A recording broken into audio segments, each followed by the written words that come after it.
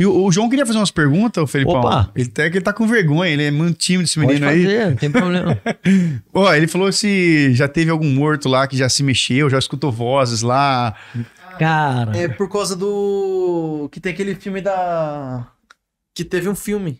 Que É o Cadáver de Ana- Ana Fritz. o Ele fica vendo os filmes, o fica com medo. tá ah, não, é o. Que da o- Globo. É, o, o Morto Fala. Morto não co- fala, Morto isso não mesmo. fala. Eu É assisti, é.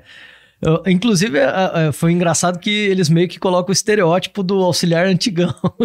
Todo largadão, é, não sei o quê. Mas é bem legal esse filme. Esse filme foi bem, foi bem A bacana. gente pergunta, assim, porque ah, pra você ter- eu, e eu falo isso com muita humildade. a- a- o que a galera tem de conhecimento é o que vê na TV, que vê Justamente, no filme. E que na justamente. prática a gente sabe que é bem diferente. Assim, comigo nunca aconteceu. Nunca vi nada, nunca escutei nada. é, nada desse tipo, nada sobrenatural, vamos é dizer porque o João assim. falou, nossa, cara, se eu ficasse lá de noite com medo, eu ia ficar sozinho. Nada. E aí começou a falar que ia Nada. pedir pro, pro, Carlão ir lá ficar com ele. Teve um colega que diz que já viu uma vez um, um vulto. Aí, Teve um caso, eu escutei aqui, foi um... Não vou mencionar o nome da, da perícia muito antigamente, que falou que foi tirar foto de- do, de- do morto, né? E falou assim, ó, dá um sorriso pro tio. Aí eu dei uma... Eu falei, meu, vocês são muito palhaços, cara, com essas porcaria aí. Mas é, brincadeiras à parte, mas quando eu fui no IML, acho que foi o IML de Guarulhos, tem um IML lá, se Sim, não me engano. sim. E, cara, tinha uma, uma menina lá que o ca... eu vi de longe. É, eu nunca tinha visto isso aí. O cara pegou o bisturi, cortou aqui, puxou a pele aqui assim, Uhum, sim. e pegou uma serrinha, tico-tico mesmo, assim. Isso, Tinha um negócio isso. prendendo a cabeça da pessoa assim. É. Cara, eu achei aquilo ali, eu falei, caralho, velho. É, são, são técnicas, né? Que, como eu tava falando, cada um vai desenvolvendo a sua.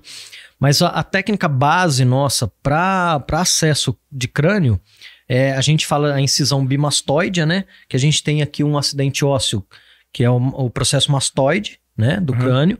Então a gente faz uma incisão de orelha a orelha. Isso. Eu, particularmente, faço aqui. Aí Né? abre, né? Aí a gente faz o descolamento da, da, da pele, né? O escalpo, né? E aí tem uma técnica que a gente usa uma serra sabre, que seria uma serra tico-tico um pouquinho maior. Antigamente, o pessoal usava o serrote mesmo, o serrotão. E aí a gente vem com a serra sabre, tem uma técnica que chama Grissinger, que ela, ela vem de ponta a ponta. Ela começa aqui, né, na- no, no osso frontal, e para aqui no hospital, abre uma tampinha, vamos dizer assim. E com o tempo, eh, eu achava muito ruim de fazer a técnica de Grissinger, porque na hora de fechar, você tem que ficar segurando. Isso que eu ia te falar, pra fechar deve ser cabuloso, né? Aí passando, fazendo a sutura com a agulha, né? E aí quando você terminava, esteticamente, meio eu sou muito a chato com isso. Esteticamente ficava um degrau na, na testa, né, do, do- do- da vítima. E eu ficava imaginando, falando assim, pô, a família vai ver isso, vai ficar horroroso, né, cara? Tipo, coisa-. Tudo bem que depois ele passa por uma... é, o pessoal da tanatopraxia, né, da- uma- das funerárias. Não, eles abrem de novo. Eles refaz, abrem de novo? Eles colam, faz tudo belezinha, Pra assim. ficar legal, né? É um serviço espetacular Eu também. conheço uma menina que faz maquiagem. de- Cara, eles Ela fazem faz umas coisas que maquiagem. você olha. Imagina, João. Chega, chega, um- chega um corpo pra gente que a gente olha e fala assim: nossa, aqui é caixão fechado, cara. Aí chega o pessoal lá da, da Tanato, ele olha e fala assim: não, isso aqui é tranquilo, drena aqui, puxa daqui, blá, blá, blá. E faz ele. Depois, se bobear, o cara ainda te leva lá e te mostra. Fala: ó, o cara que você falou que era caixão fechado. o cara parece que tá dormindo lá, assim. Os caras fazem um serviço excepcional. E aí, com o tempo, o que, que eu comecei a fazer? Eu comecei a a desenvolver uma técnica de abertura. Eu até, assim, já ouvi dizer que em alguns locais, alguns IMLs de outros estados, algumas pessoas fazem uma técnica parecida. Mas o que, que eu faço? Eu faço primeiro uma, um- uma secção, assim, vertical, vamos dizer assim, e depois eu venho com a secção como se eu fosse fazer o Grissinger, só que eu paro na onde eu fiz a, a, a outra secção. Então fica um L, né? Fica um, um degrau Aham. uma tampinha assim. Então eu tiro, aí eu vejo, faço a perícia que eu tiver que fazer, identifico lesão e tal. Depois eu volto com a tampinha e ela fica no lugar. Então Como se não a impressão tivesse. que dá é que não abriu, né? Então assim, é um exemplo Mas de isso uma é legal, do exemplo, eu fui... inclusive, não só técnica, mas de um cuidado, né? Sim, que a minha preocupação, né, é, lógico, é, é com o meu trabalho, sim, porque vai facilitar, que eu não vou ter que ficar segurando, é mais segurança pra mim, de eu não me furar com a agulha.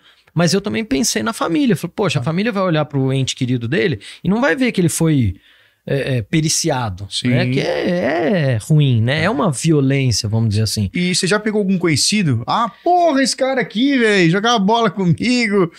Cara, Imagina. nunca aconteceu. Caramba. o que aconteceu. Eu imagino eu que quando é familiar, eu acho que os caras você não, não não pode, faz, né? Não, é. não pode fazer, familiar né? você não pode. É, e até eles brincam na cadeia Sogra pau, né? pode, João. Daí você tem que garantir. Ai, que piada maldosa, ô Felipão, desculpa aí. Ô, isso aí depois. Não, pode deixar. Eu sou da minha sogra. O, o pessoal na depois fala o seguinte: se for amigo, evita. Uhum. Se for inimigo, corre. Porque, na É. verdade, assim, é uma, é uma brincadeira, né? Mas, na verdade, você é, você tem que alegar uma suspeição, né? Sim. Porque, por questões pessoais, né? De envolvimento, e por questões que ali é, tá envolvendo uma ação policial. Total. O IML, ele é um órgão policial. Então, assim, aquilo vai gerar um inquérito, vai gerar um processo, vai gerar uma série de consequências, né? Então, assim, nunca aconteceu comigo de cair um conhecido, né? Eu sei de colegas que já aconteceu e do colega falar assim: olha, é, é parente de um amigão meu, é conhecido meu, trabalhou comigo, então o cara não, não faz, prefere não fazer. E aí chama um colega, o outro colega vai e faz, tranquilo. Tem essa cordialidade, Tem né? essa. Não, eu tranquilo. peguei um caso uma vez, foi até engra... Eu contei isso aí, né, João? Eu tava. Um rapaz tava cheguei na delegacia de manhã pra iniciar o plantão 8 horas da manhã. Aí o carinha me viu, né? Ô, professor, como é que você tá? Aí ele cumprimentou, só que era normal, às vezes em live. Eu falo, ó, vai na delegacia lá que a gente toma um café. Aí o rapaz foi lá, beleza. Eu falei, ô, meu, eu vou subir, daqui a pouco eu desço pra falar com você, né? Eu vou abrir lá minha sala, pá. Beleza. Tranquilo. Aí eu subi, daqui a pouco o telefone toca. Era o investigador lá embaixo. Ô Luiz, esse rapaz que tá aqui veio pra ser ouvido. Falei, qual? O que me cumprimentou? É esse mesmo, você conhece? Eu falei, ah, é meu aluno, etc.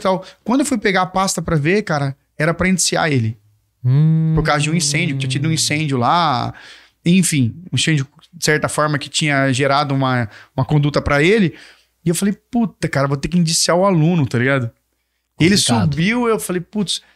é, eu, eu brinco assim, eu não tinha conhecimento, co- eu não tinha, como é que eu vou dizer, afinidade. Sim, Mas é constrangedor, né, cara? A pessoa te lógico. conhece, a pessoa pessoa que você. conhece, lógico, sem dúvida alguma. E o IML, pra quem não sabe também, faz constatação de coisas de pessoas vivas também, né? Na verdade, é até um, um engano da- do pessoal de falar assim, pô, o IML é morto, tal, não sei o quê. Maior, maiores clientes, nossa, a gente pode chamar assim, é vivo, né? Porque Deixa eu te falar isso aí, porque geralmente chega lá o flagrantão na delegacia, Sim, a gente faz toda a papelada, aí tem que Isso. passar o cara no IML. isso é, isso é um dos exames, né? É o exame cautelar, né? Correto. Então, o cautelar, ele, ele é feito quando? A pessoa foi presa, aí ele passa lá pra ver se não, não foi agredido, enfim, pra ver se, se ele não tem nenhuma lesão prévia àquele momento da prisão. Aham. E aí depois ele vai, né, vai, vai pro CDP, aí vai pra onde a justiça determinar tal. Mas ele tem essa, isso é um dos exames. O outro exame que a gente tem é, é o cautelar, cautelar não, desculpa, é o, o corpo de delito, né, por excelência. Então, por exemplo, o cara, sei lá, é, sofreu um acidente de trabalho, um exemplo. Então ele vai lá porque ele teve é, uma consequência, é, ficou com o braço meio assim, vai, vai ficar fora das atividades dele por mais de 30 dias. Então ele passa lá pra passar por isso. Ah, o cara brigou na rua, perdeu um dente, é, apanhou do, do vizinho. Então, isso aí é um tipo de, de, de exame de corpo de delito. Você vai analisar o quê? Você vai analisar a lesão e se a lesão é compatível com a história que ele contou e com o objeto que ele afirma ter sido agredido, né? Às vezes não tem nada a ver uma coisa com a outra, né? Nada a ver. Já acidente de trânsito também, o cara, né, bate o carro, cai de moto, e tal, também vai lá, mas já aconteceu do cara alegar, não, porque o cara fez, aconteceu, me bateu, não sei o que, né? chega lá, a lesão do cara é de arrasto. Pô, mas peraí, você não disse que o cara te deu um soco, como é que você tá com uma lesão de arrasto? Fica estranho, né? então a história não bate, né? Total. Um outro exame que a gente faz é o sexológico, quando questão de violência sexual, né? Aí seja homem, Esses daí mulher, são, são os mais delicados, né? muito, Eu, eu muito falo isso, até me remeto a um exemplo que eu tive, foi de uma moça lá, foi lá registrar o boletim de ocorrência de estupro. Quando a gente chamou o rapaz para ser ouvido, ele negava veementemente que não havia sido ele, etc e tal, que ela era ex dele. Aí ele pegou o celular e mostrou as mensagens dela para ele, falando: "Olha, então quer dizer que você tá namorando com aquela menininha lá, novinha? Você vai ver, você não perde por esperar, eu vou aprontar uma para você". E isso, a mensagem era de um dia antes do fato. Aí ele parece que no dia ela ligou pra ele, ó, vamos tomar uma cerveja. Tomaram uma cerveja lá em Arujá, pararam num motelzinho lá em Santa Isabel. E detalhe, depois ele trouxe ela aqui em São José. E aí, que nem eu falo, o que livrou a cara dele foi que a gente conseguiu as imagens lá do motel, tinha filmagem daqui que a gente pediu pros O colegas. método de causalidade tava, tava provado ali. É, não tinha estupro nenhum, mas olha pra você ver, numa dessa aí, o cara cai na cadeia como estuprador, Ah, é uns negócios complicados, cara. a, a gente teve um caso também, uma, uma moça jovem, chegou lá, tá, não, foi estupro, estupro. Só que, lógico, a gente não pode, né, é, é, é, é, generalizar, mas ela chegou plena. Aham. Não, que tal, foi estuprada, papapá, papá. Quem tava no dia era uma, uma legista, uma doutora muito sagaz, muito. E tal, tal, fez o exame. Realmente, assim, tinha sinais de uma relação sexual. Certo. Tinha sinais. E aí, tá, foi conversando, foi conversando, foi conversando, conversando, conversando, conversando. Tava ela com a mãe. E ela jogava uma pergunta e jogava outra. Ela, ela foi um tirocínio fantástico ali. Jogando, jogando. Eu sei que por fim, daqui a pouco ela falou assim: fala a verdade. O que, que aconteceu? Falou pra, pra moça. Ela virou e falou assim: Doutora, sabe o que, que é? Hum, Ele terminou comigo, e papapá, papapá. E eu falei que se ele terminasse comigo, que ele ia ver, que eu ia aprontar pra ele, que não sei o que. Ela, menina, não pode fazer isso. você vê, né, Comunicação falsa de crime, isso é crime. cara? É. Aí, assim, né? Ela orientou a menina, que é uma pessoa muito humilde, não tinha o, o- o- Conhecimento do que tava, nem que tava fazendo, que né? tava fazendo. Ela queria era ferrar o cara. E aí ela foi, aí a doutora explicou, foi super acolhedora tal. A menina foi lá, retirou. Não deu maiores é, é, confusões, vamos dizer assim. Mas é o que você falou. Você imagina esse cara indiciado por estupro. Putz, ele, ele trabalhava aqui, cara. Não, não, não vou falar, obviamente, o local, mas é. Putz, eu fiquei imaginando. O cara tava desesperado, cara. O cara, o cara falou: Meu, terminei, pô, até parece, nunca cometi estupro. Diferentemente do, do outro caso, que eu até te perguntar isso, eu nunca tinha, nunca tinha ouvido esse termo. Foi o caso de uma mocinha que foi num, num churrasco de família. E aí lá tava um primo, é uma casa de três andares, e de determinado momento do churrasco, ah, vamos, ela e o primo, vamos subir lá em cima, vamos dar uns beijinhos. Aí subiram. De repente, passam uma- uns 40 minutos, nada da mina descer. Os familiares começam a ficar preocupados. Cadê eles? Cadê eles, né? Uhum. E de repente ela desce com o rapaz, mas ela desce escorada nele. Ela desce meio apoiando nele. Tudo bem que ela tivesse alcoolizada, mas quando ela passa na frente da casa, pelas câmeras dá pra ver. Ela tá com região de, é, uma mancha de sangue ali próximo da região do, do, do, do ânus. Aí, beleza. Levou pro IML, foi pra, foi pro IML, foi pra delegacia, etc e tal. Cara, eu nunca tinha visto. A primeira vez que eu li um laudo assim, que eu li lá, rompimento do esfíncter, acho que é essa a terminologia correta, Isso. rompimento do esfíncter. Isso. Que tanto não fui eu que, que eu vi ela, porque não foi no dia do meu plantão, mas ela não conseguia ficar sentada Uhum. pra ser ouvida. E aí o cara falou que nada mais foi do que uma relação consensual. Difícil. Difícil isso aí, né, Muito cara? difícil. Até a perícia falou, falou, meu, Muito difícil. até a gente até brincou, ia falar pra ele, amigo, baixa as calças aí, você, você é um jegue, né, meu? e porra. ainda assim. O, Pra dar rompe... rom- Só pra até me explicar. O esfíncter é aquela... o esfíncter é, é um grupo muscular. To- todo grupo muscular é, é em, em- em- em círculo, vamos dizer assim. Ele tem a, a possibilidade de abertura e fechamento. Que você consegue, consegue ou não controlar isso. A gente chama de esfíncter. Então, por exemplo, a nossa íris, né? O, o, o, o que dá a cor do olho é um esfíncter. Tá. né? Tem músculo aqui e ele reage como? Luminosidade. Então, se eu tenho muita luminosidade, ele contrai. Se eu tenho baixa luminosidade, ele, ele dilata para você conseguir ter mais luz dentro, né? Aham. Então, você tem uma série de esfíncteres dentro do, do corpo. O ânus é um, ah, no, no, no Dá pra próprio... ter rompido, quando fala rompimento do esfíncter, é que rasgou, né? absurdo, um absurdo, é, é violência, né?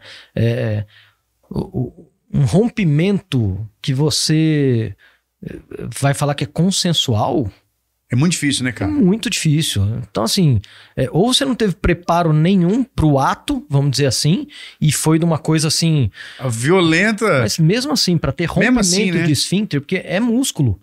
Você romper um músculo é uma coisa muito É grave. porque a gente ali na delegacia, sem conhecimento de medicina, é, ficou um colega falando com o outro. Putz, mas o que será que aconteceu, cara? O que, que será que ele colocou? Meu, ele- alguma coisa ele colocou na menina Sim. pra fazer esse estrago aí. E o que você falou, é a, a importância de uma perícia bem feita, né?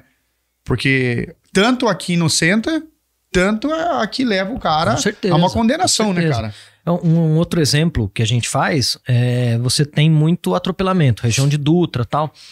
Então a gente colhe o toxicológico da vítima. Eu falo, nossa, mas da vítima? Porque você não sabe, às vezes o cara tava alcoolizado, tava usando alguma substância e ele mesmo provocou aquilo lá. Sim. E aí você inocenta o cara que atropelou. Porque às vezes o cara tá trabalhando, o cara, né? Então, assim, ele não tem culpa nenhuma, ele tava dirigindo certinho, dentro do, do- dos parâmetros legais ali, e a, a pessoa pula na frente, você, nossa, Não tem o que tipo, fazer, né, cara? não tem o que fazer. Entendeu? Então, a perícia, né, na parte, seja necroscópica, seja em vivo, né, que a gente fala, ela serve justamente para isso, para tentar chegar o mais próximo da que a gente chama verdade real, né? Sim. Então, assim, é a gente tentar pegar a história daqui, história dali, juntar, colocar ali e falar, não, é, é condizente. É uma investigação, né? É uma investigação, é uma investigação. Em cima ali da. Sem dúvida alguma. Uma mesa é uma, é uma, uma situação que vai se resolver para algum lado sem ali, né? dúvida alguma, sem dúvida alguma.